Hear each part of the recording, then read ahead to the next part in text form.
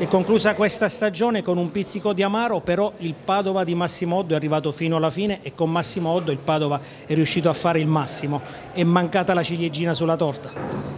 Eh sì, purtroppo abbiamo fatto a mio avviso grandi cose eh, nonostante tante, tante difficoltà, ma da quando siamo, sono arrivato Abbiamo recuperato tanti punti al Sud Tirolo, purtroppo nello scontro diretti non siamo stati tanto fortunati, avremmo meritato molto di più, però Sud Tirolo ha vinto sul campo e quindi a loro vanno i complimenti. Poi sappiamo tutti che i playoff eh, sono, sono un'arma a doppio taglio per chiunque, dipende tanto da come ci arrivi, in che condizioni mentali, fisiche. Noi oggettivamente avevamo un bel po' di problemi. E ha avuto la meglio la squadra che ha meritato. Dal girone A al girone B il Pescara che ha chiuso la stagione non benissimo pur arrivando ai playoff, hai seguito dall'esterno ma da tifoso oltre che da ex allenatore del Pescara, che stagione è stata per i biancazzurri secondo te?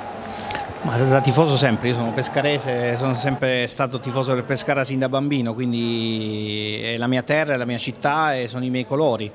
E, um, ha fatto un, un campionato normale, eh, ma io essendo un allenatore posso dirvi che quando non sei dentro non puoi tirare le somme, non puoi dire cosa si poteva fare di più o cosa si, poteva, si potesse fare di meno.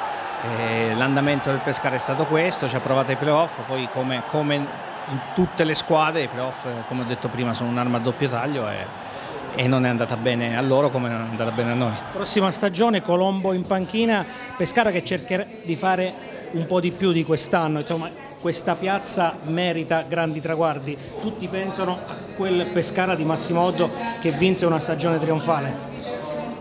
Eh, io me lo auguro per il Pescara, per, per, la città, per i tifosi perché è una piazza che merita ben altri palcoscenici, però purtroppo quando sei in queste categorie ancora di più è, è, è difficile, molto difficile, molto dura eh, ritornare in auge, quindi bisogna fare le cose fatte bene, bisogna programmare, bisogna soprattutto programmare e mantenere le promesse della programmazione.